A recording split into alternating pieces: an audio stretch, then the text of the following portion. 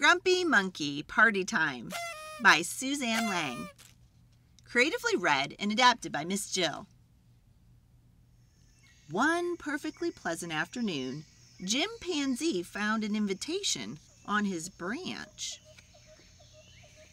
You are invited to Porcupine's party, Party? said Jim. Hmm. Hey, be a great time, said Norman from next door. We can dance, Dance? exclaimed Jim, cutting him off. I can't dance. Can't dance, oh my. Goodness, I never knew. Everyone can dance. said Hyena. Come on, show us your moves. "Uh, I don't have any moves, said Jim. Sure you do. Said Hyena. You just need to try. So, Jim tried to dance. Uh, you should have taken him at his word, Norman said to Hyena. If Jim doesn't know how to dance, said Oxpecker. we'll just have to teach him. Everyone was excited to teach Jim how to dance, You've just got to feel the beat. said the lizards. Mm, you've got to strut your stuff. said the ostrich, You gotta shake your booty. said the baboons. Hey, he's doing it. He's dancing! Everyone cheered. Party time, said Norman, and they headed off to Porcupine's party. At the party, everyone wanted to dance with Jim, He dance with us. said the ground squirrels. Care to shake a tail feather? asked Peacock, Ah, may we cut in? asked the warthogs. Me next, said Rhino. Jim danced and danced. Everyone on the dance floor was having a great time. Everyone except Jim. And then it got worse. Music is the best. chirped Oxpecker.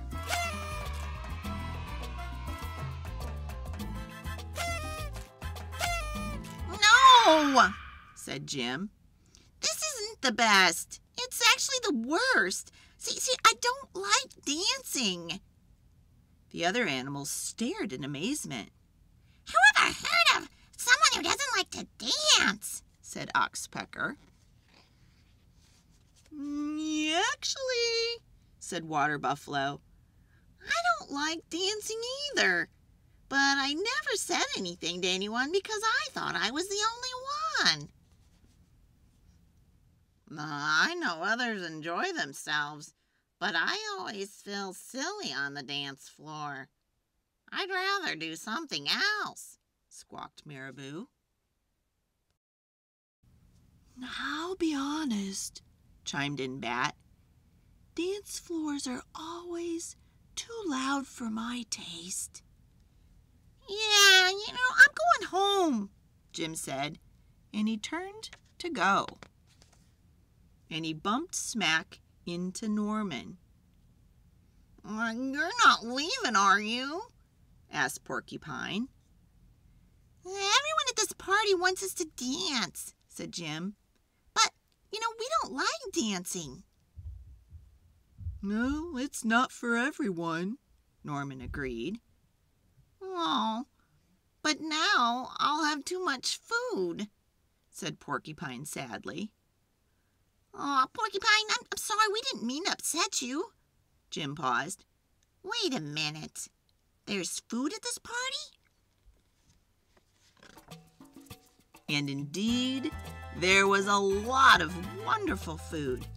There's bananas and surprise eggs, old meat, and honey seed dumplings, flour cake, pickled roots, grass maggot salad, fruit bowl, pineapple pudding, fresh meat, bark jerky, fly pie, anything all the animals would want. And plenty of games too. Tag, shake that tree, swing along, puddle splash off, bobbing for mangoes, lots of games. And so they stayed at the party. Jim enjoyed the wonderful food. He laughed with his friends and even played a game or two. But he did not dance. And it was a great time. The end. If you want to be kept up to date with more books that I uh, upload, go ahead and hit the subscribe button and you'll be notified. Thanks, guys.